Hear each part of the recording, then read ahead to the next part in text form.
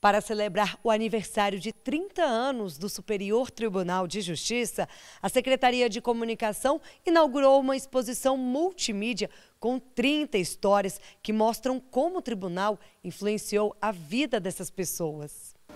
Cada toque revela o que os olhos não veem. O servidor aposentado do STJ, Luiz Batista, se dedicou ao tribunal durante 28 anos.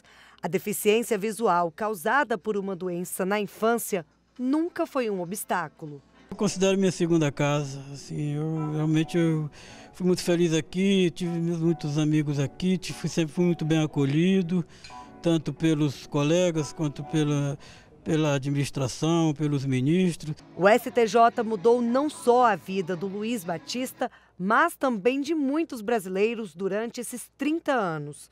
Uma decisão do tribunal fez a Sara ganhar, em primeira instância, um processo contra uma construtora de imóveis. Quando eu, eu resolvi é, processar a empresa por conta do atraso na entrega do imóvel, eu tinha esperança que isso ia acontecer. E foi realmente o que houve. É, foi favorável a nós consumidores. Essas e outras histórias foram contadas em fotografias e vídeos.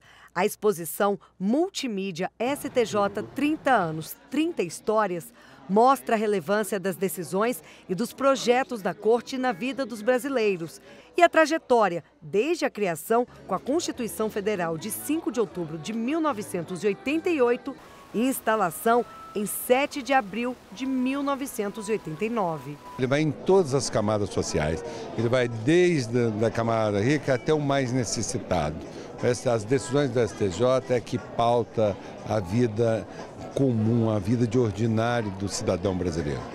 O trabalho foi realizado pela Coordenadoria de Imprensa e Conteúdo, Coordenadoria de TV e Rádio, Coordenadoria de Multimeios e Fotografia.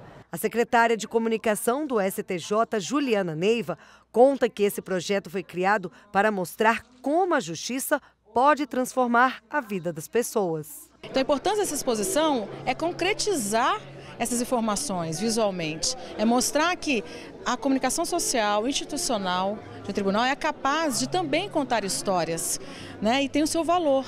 E fortalecer a importância de se ter uma comunicação direta com o público, com o cidadão.